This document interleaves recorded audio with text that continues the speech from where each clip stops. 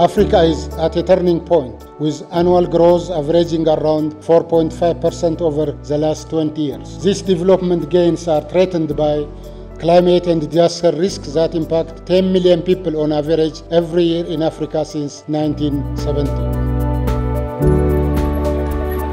In the era of climate change and the 2030 Agenda for Sustainable Development, I believe the forum we ambitiously start today will give us a great opportunity to discuss meteorological services, weather and climate forecasting, experience sharing, and South-South as well as South-North cooperation. I declare that the forum is open. I thank you very much.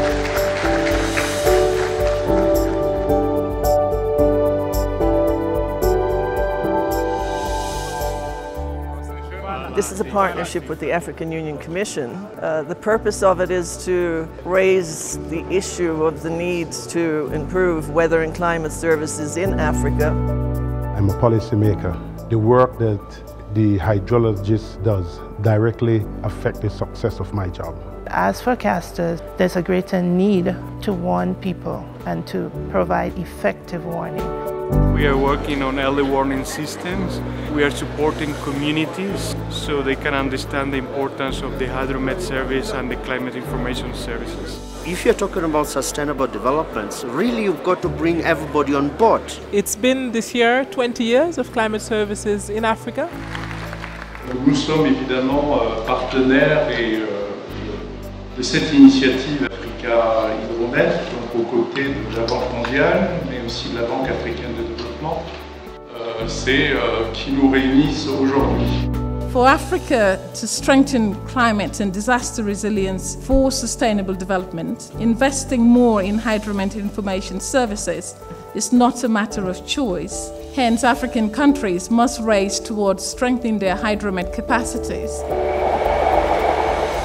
Infrastructures, transport and energy, agricultural production, health, disaster risk reduction, all these depend on hydromet, so that is why it is really important that we should invest in, uh, in uh. So this is a forum that brings together like over 560 participants.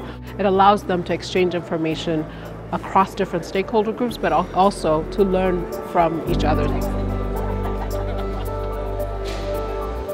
Bank through the ClimDev Africa program is working to enhance the application of climate information services.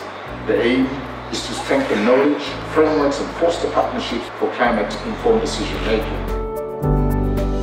So this is a very unique occasion to expand the network and to spread our knowledge, what we have gained over the last 50 years. The outcomes of this forum that we are expecting is to see a strong commitment among all the stakeholders in order to reach the Agenda 2063 and align with the Agenda of Sustainable Development Goal, which is the Agenda 2030. I think we are getting somewhere. It is the time to mainstream hydromet into development. With this, I thank you again, the organizers, for this very important meeting. Thank you.